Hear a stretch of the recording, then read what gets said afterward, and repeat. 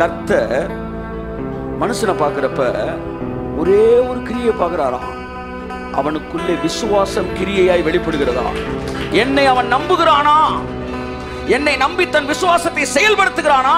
அல்லது செத்த விசுவாசமாக விதையை விதைக்காமலே வைத்திருக்கிறானா? அதைத்தான் தேவன் பார்க்கிறார்.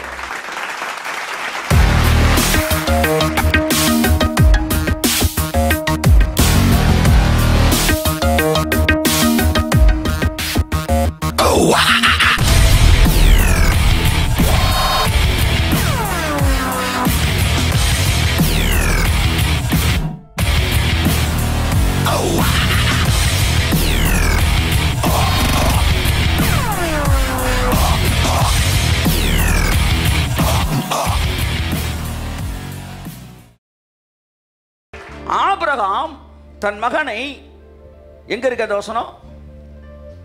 இருபத்தி ஒன்னு நம்முடைய பிதாவாகிய ஆபிரகாம். தன் குமாரன் ஈசாக்கை பலிபீடத்தின் மேல் செலுத்தின போது. கிரியைகளினால் அல்லவோ நீதிமானாக்கப்பட்டார். மறுபடியும் கான்ட்ரடிக்ஷன் ரெண்டு முக்கியமான வார்த்தை ரெண்டு பேரை பைபிள் சொல்லுது இவர்கள் கிரியைகளினால் தான் நீதிமானாக்கப்பட்டார்கள். ரெண்டு வசனம் முழு புதிய ஏற்பாட்டுக்கு எதிர்த்து நிற்கிறது.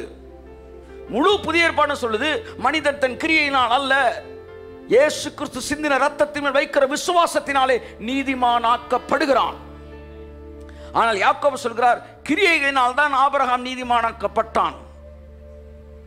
அடுத்த கொஸ்டின் அப்ப ஆபிரகாம் கிரியை செய்தபோது அவன் தன் வாழ்க்கையில் அந்த நீதியின் கிரியையும் சுய பரிசுத்த கிரியையும் வந்து தன்னுடைய சுய கிரியைகளினால நீதிமானாக்கப்பட்டதை சொல்றாரா? இல்லை.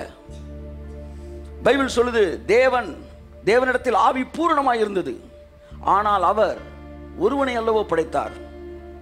ஒருவனுக்கு ஆதாமுக்கு ஏவாள் ஒருத்தியை தான் படைச்சார். அவர் நினச்சிருந்தாருன்னா பூரணமாக இருக்கு.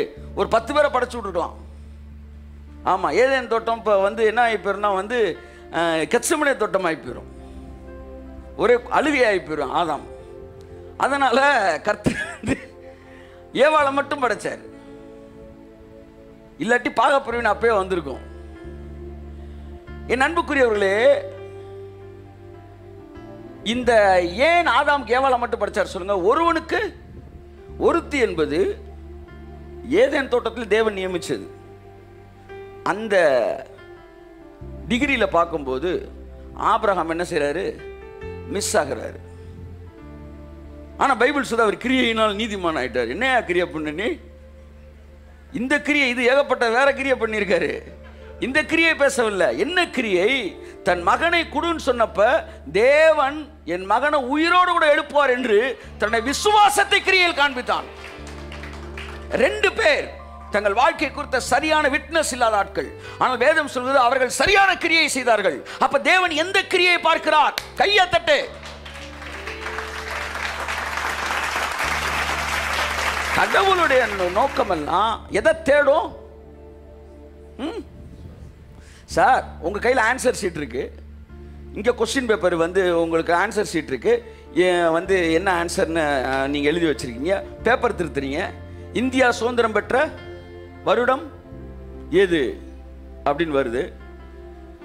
அவன் எழுதுறான் நம்முடைய இந்தி இந்தியா அப்படின்னு அப்படியே ஒரு கதை எழுதி எந்த வருஷம்னு எழுதுறதுக்கு போகும்போது நீங்கள் ஒரு நல்ல வாத்தியாராக இருந்தால் உங்கள் கண்ணு எதை மட்டும் தேடும்?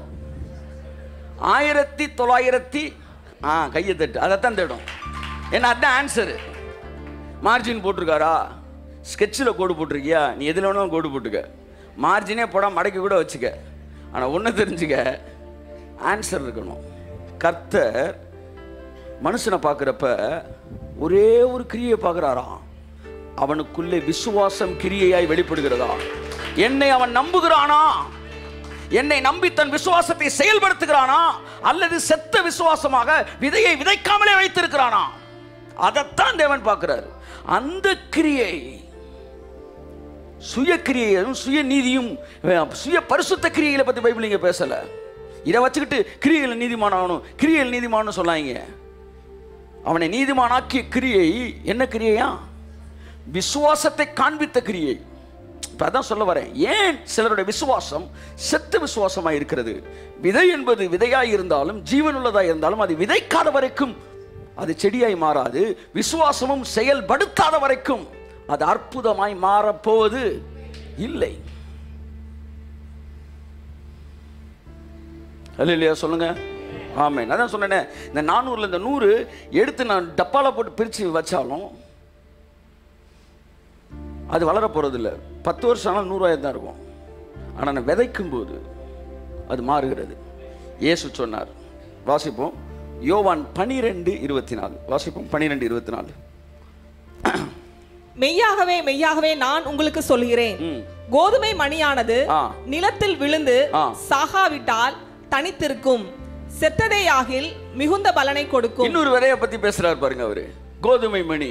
எத்தனை பேர் நம்புறீங்க? கோதுமைக்குள்ள ஜீவன் இருக்குன்னு? ஜீவன் இருக்கு. கோதுமை மணி உயிருள்ளதா இருந்தாலும் சாகாம அது டப்பாலே இருந்தா அது தனித்திருக்கும். எல்லாம் சொல்லுங்க.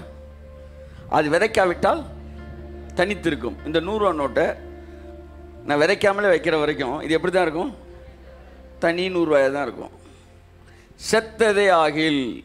ஆமேன்னு சொல்லுங்க. எல்லாம் சொல்லுங்க சாகணும். எது சாகணும்? ஆமேன். என்ன சார் நாலு பேர் இருந்தால் இவங்க எதிரி? ஒருத்தனை காணோம். மூணு பேர் தான் இருக்காங்க. ஒருத்தர் செத்துட்டாரு.